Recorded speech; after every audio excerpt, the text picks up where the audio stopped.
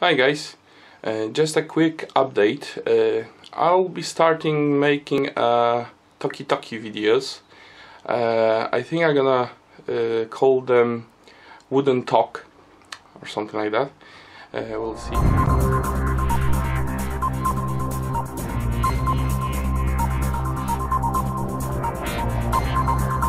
Uh, so today will be the first update uh, of my shop.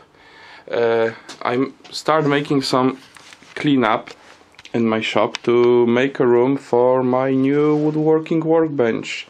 So this is a clean corner ready to bring some bring the woodworking workbench but the downside of the clean corner is the rest of the shop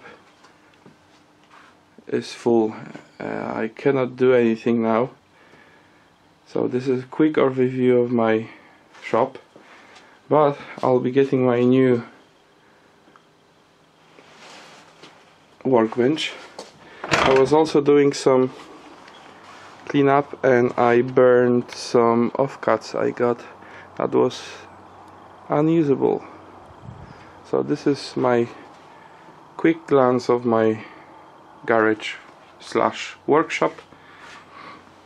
And over here we're gonna have a new old workbench it's over 50 years old but I'm gonna talk about it uh, next video. Thanks. I'll try to make some uh, videos every week now.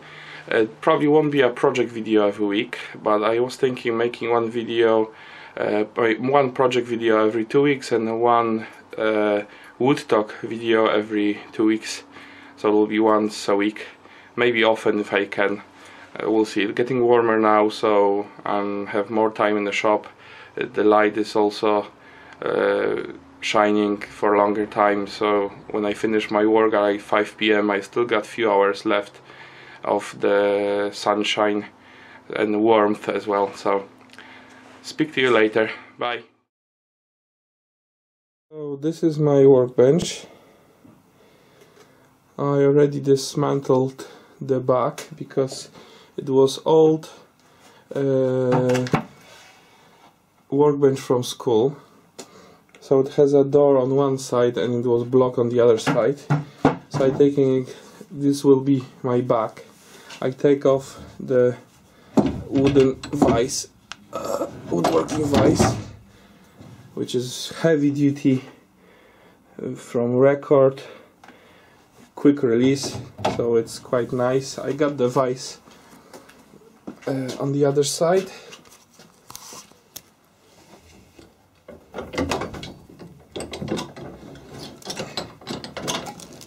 So it's quite nice quick release so I'm gonna move this vise uh, to make a side one. And uh, you know this is traditional English vise uh, English workbench with some uh, drop in the middle.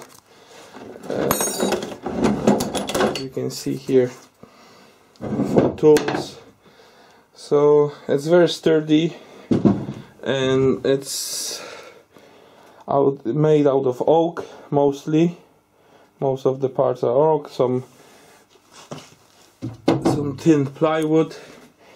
Uh, yeah but this is it. So this is what I'm working on at the moment. Take care